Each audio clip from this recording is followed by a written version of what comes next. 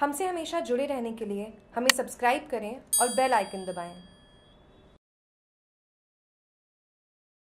Mount Abu चौथे दिन भी बंद राजस्थान का पर्यटन स्थल माउंट आबू पिछले चार दिनों से बिल्डिंग बायलाज की मांग को लेकर पूर्ण रूप से बंद है, जिसको लेकर आज आबू संघर्ष समिति के प्रतिनिधि मंडल ने जिला कलेक्टर अनुपमा जोरवाल के बुलावे पर सिरोही कलेक्टर निवास पर मुलाकात की और पूरे मामले को लेकर वार्ता हुई, जिसमें तहसीलदार आबू रोड अनूप सिंह भी मौजूद रहे। आबू संघर्ष समिति के अध्यक्ष सुनील आचार्य ने बताया कि माउंट आबू में कई मकान जर्जर हो चुके हैं, जिसको लेकर मरम्मत मरम्मत करवाने के साथ साथ नए निर्माण करवाने में भी जनता को मुसीबतों का सामना करना पड़ रहा है। साथ ही अगर बिल्डिंग बायलाज की मांग पूरी नहीं होती है तो इससे नुकसान भी रहवासियों को उठाना पड़ सकता है। इस मांग को लेकर आबू के समस्त व्यापारी अलग अलग संगठनों के साथ स्थानीय लोगों के नेतृत्व में चार दिनों से माउंट आबू पूरी तरह से बंद है।